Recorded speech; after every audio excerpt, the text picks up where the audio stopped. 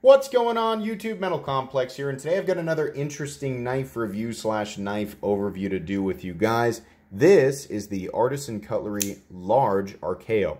Uh, I reviewed the smaller one a while back, wasn't a huge fan of it, but if you watched me unbox this the other day, I had much higher hopes for it. So uh, without further ado, let's go ahead and get into it. First off, I'm recording in a different location today, so I do not have my scale and I don't have my measuring tape. Um, this is generally where I take measurements and things like that. Um, the overall length of this guy is going to be about 8.75 inches, and I can tell you by doing a quick size comparison here with the Ontario Rat Model 1 can see there the Rat 1 is coming in at 8.6 inches overall, so that is definitely the um, correct size there. The blade length is going to be 3.75 inches, given that you have a fairly generous sharpening choil there. It's not a finger choil.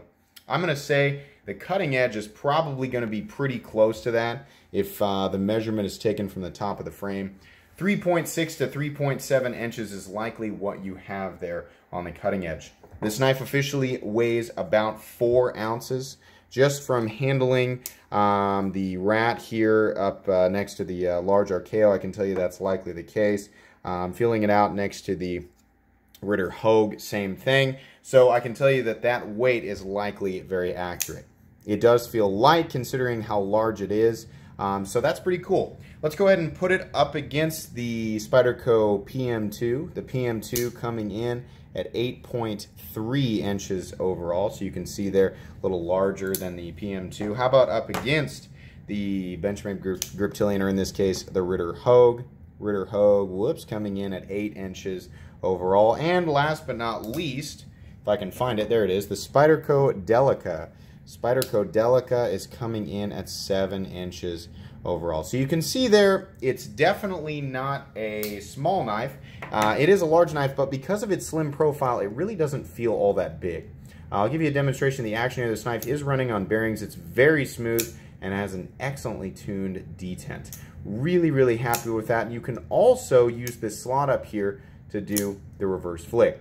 Um, I have tried and tried and tried. I cannot get it to do, you know, the standard thumb flick. Um, you can do sort of a pinch open, for those of you who've never seen me demonstrate that, sometimes with knives like this, I like to pinch it open from both sides and then deploy it. Um, but the primary means of deployment, definitely the flipper tab, and it definitely is, it's not the most convenient thing in the world, but it definitely is possible to do the reverse flick using that slot.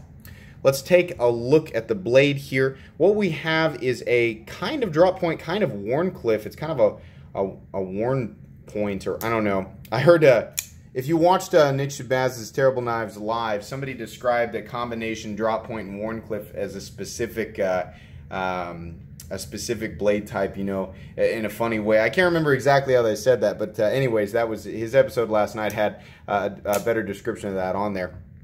I think officially they do list this as Wharncliffe, but there's a there's a there's definitely more of a drop point happening here with this blade.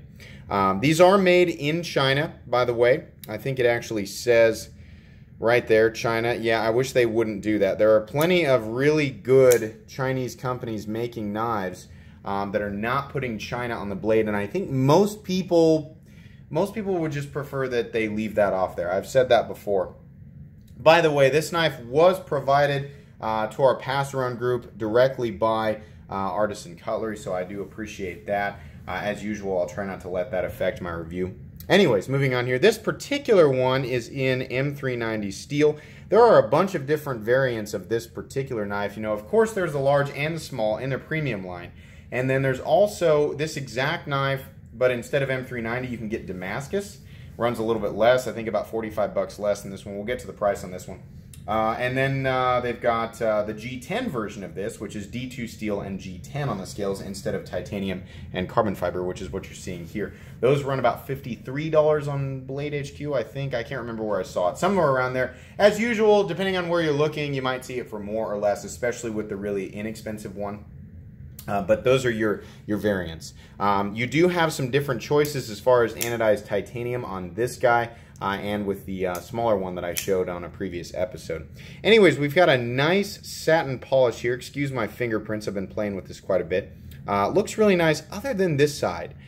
Why? Why do they do this? Serial number 1821G designed by uh, Dylan Mallory. I mean, that's great that the original ma maker wants his name on there. Um, but I think just this is enough. And this is obviously Dylan Mallory's mark. That's fine. And then M390. That's really all you would need to have on there. We don't need the serial number. We don't need China. We don't need any of that. I don't mind Artisan Cutlery's logo there. That's perfectly fine. Um, that's something I don't like right off the bat. Uh, moving down to the scales here, we do have a nicely rounded off, rounded off and uh, slightly contoured um, bead blasted finish um, titanium frame. Uh, you do have Artisan Cutlery's decorative front pivot or show side pivot there. That looks nice. You have perfect carbon fiber inlays no odd gaps, no no seams that you can feel. I mean, if you were to close your eyes, you'd have a hard time telling where the titanium ends and the carbon fiber begins. That's done correctly. You've got a couple of handle screws down here that are, I believe, unfortunately, the small size. Yeah, I don't like that size, but what can you do? It's not a deal breaker. No, uh, no big deal there. The carbon fiber does look really nice. That's obviously real carbon fiber. I like how that looks. I like that the contouring matches the titanium. It's nice. Uh, moving over to this side here, I have decided I do not like that they put Artisan Cutlery on the backspacer. Uh, it just looks funnery.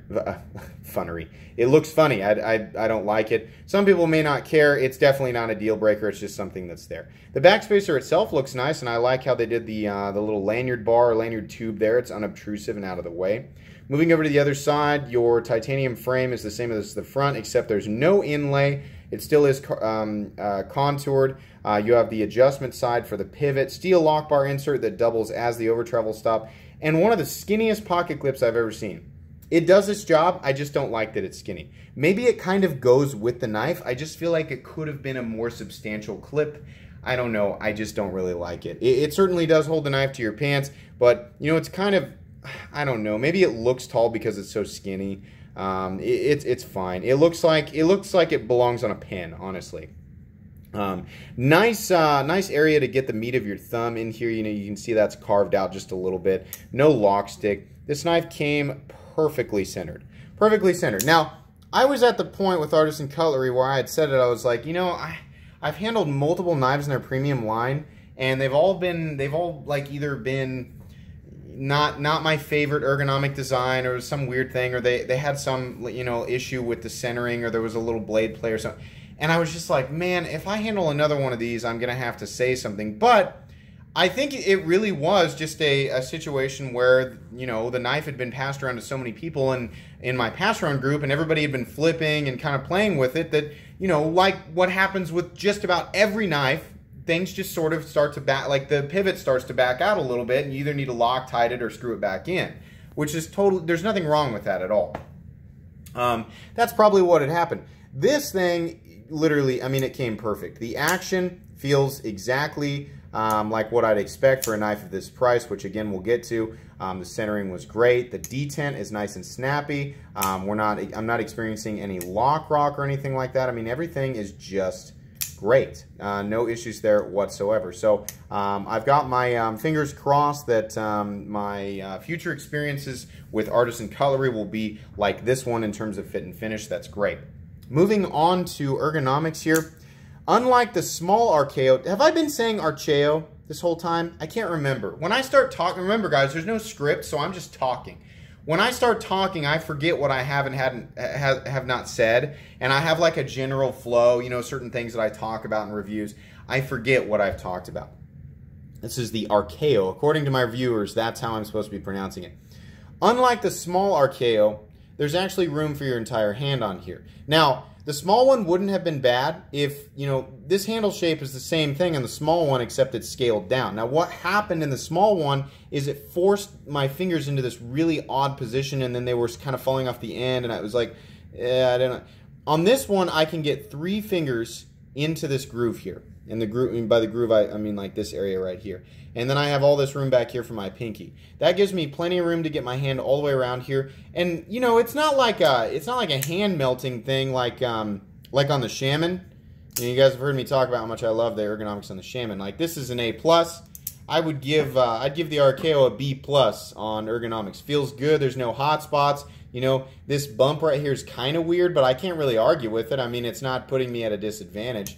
I suppose you could make the argument it locks you in just a little bit. You know, this knife is pretty smooth, other than the jimping up here, which I am thankful for, by the way. I'm really happy they decided to put that up there. Um, other than the jimping and that groove right there, there's nothing else to lock your hands in, so I suppose in that respect I am thankful for it.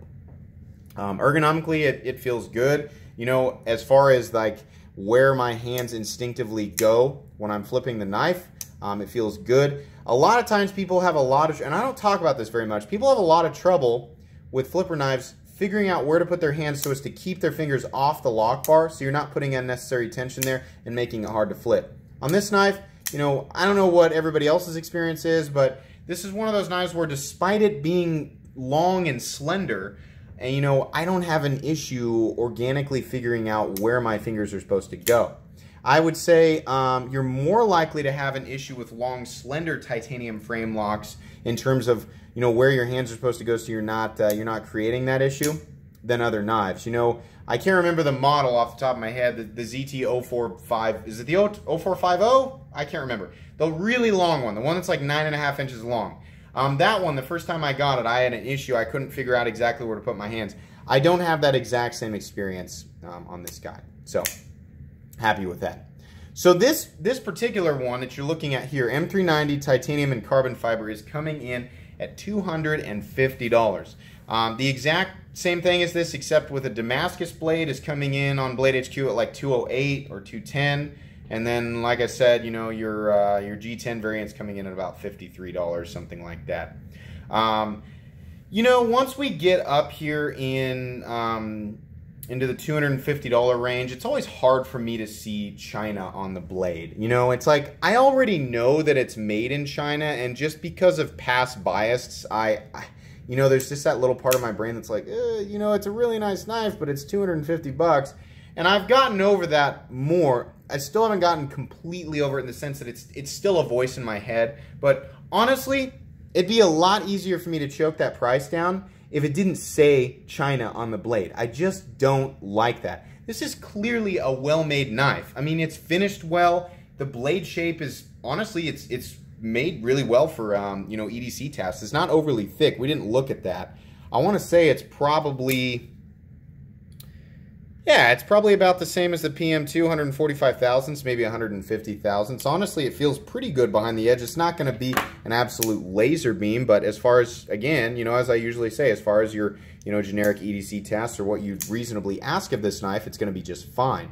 Um, this knife is made really, really well. It's made just like, you know, a lot of other um, premium titanium frame lock flippers that are out there. This one, you know, the main, you know, additional feature it has is this contoured carbon fiber inlay, which, do, inlay, which does add to the manufacturing cost. So this is a premium knife. I think it's pretty well deserving of this $250 price. Um, like, like usual, I, I just, you know, it just seems like it's just a little it's just a little bit high and and um, I, I still am unable to tell you guys exactly why I want it to be less because you know that that primal part of my brain that just doesn't want to pay whatever it is that that whoever's asking for whatever you know everything could always be just a little bit less I guess. I would have been really really excited to see this knife at about 220 bucks you know something like that. I would have been like wow that's pretty cool but it's 250 I don't think that's a bad price. I just don't like seeing China on there um, you know, other than um, the Falcon, and again, I think the Falcon, I still, I should have checked before I did this review. I think the Falcon was an artisan cutlery knife, and I, I put that on my recommended knives uh, list. And, you know, honestly, I'm going to recommend this knife too. I think this is a great knife. You know, I think a lot of people um, really enjoy this long, uh, slender profile, and I think the blade is going to be attractive to people. Um, you do have some of that fidget factor that people like with the ability to do that reverse flick. The detent's good. The shape of the flipper tab is good. You have a nice landing zone for your fingers back here. Let me show you, give you a close up there. It has that little cutout. Um, your, uh, your contact area for the stop pin is a little bit shouldered, so that's good. Um, it has all the features that you would want in a premium titanium frame lock. So basically, if you enjoy this profile and you like this look, um, or maybe uh, you go and look and see what different uh, options you have for anodized titanium frames for this, and you find one you like, I think you're going to be really, really happy with this knife. You know, for me personally, it's not a profile that 100% grabs me, but I have to admit it is made well. Um, I think Artisan did a really, really good job on this particular model. Happy with it. If it was, uh, you know, anything that I could change, honestly, I don't know. I don't even know what correction. I don't even. I don't want to call it a correction. I don't necessarily like this bump right here, but that's just that's just me. It's it's it's honestly very comfortable to hold. Um, some people might really like, you know, how it goes along with the rest of the look of the knife. I just wouldn't want that. I would want this whole area to kind of be one continuous line, but that, that change would make it harder to hang on to. Um, other than that, though, you know, I, I, there's not really a whole lot that I can say um, that needs to be changed. You know, I, I think this is a good knife, and I think people are going to be happy with it. Um, that's honestly about all I can say about this knife. I'm really happy that I have finally found another knife from Artisan Cutlery that I can organically say that I um, recommend. That's that's good. Um, I hope to see more good things come out of Artisan Cutlery in the future. Like I've said in previous videos, they have definitely been getting my attention on Instagram. They like to do the sheep's foot and cleaver style blades, um, and uh, I've said it before, they've, they've been really close. They just haven't quite got it yet, and I'm really hoping they nail it with one of those designs. So I'm excited to see what uh, the future holds for Artisan Cutlery. Anyways, guys, that's going to be pretty much it for today's video.